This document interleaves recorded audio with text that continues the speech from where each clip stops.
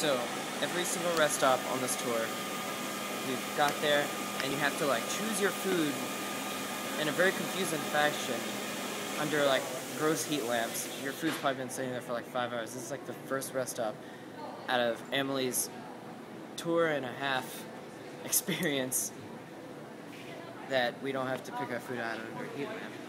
I think it's because we're in Boston, at Boston.